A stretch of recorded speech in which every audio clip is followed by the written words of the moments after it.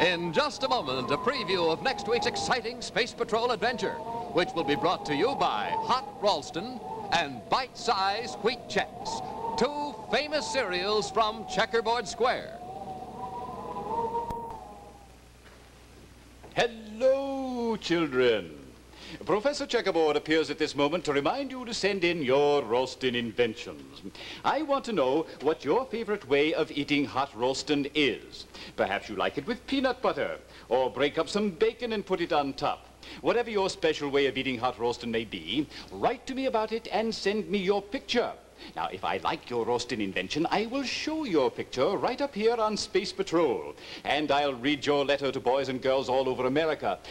Think of it, children. You can become a Ralston inventor. So start inventing tomorrow morning and write and tell me about your Ralston invention. Professor Checkerboard, Box 2665, Los Angeles 54, California. Box 2665, Los Angeles 54, California. Remember,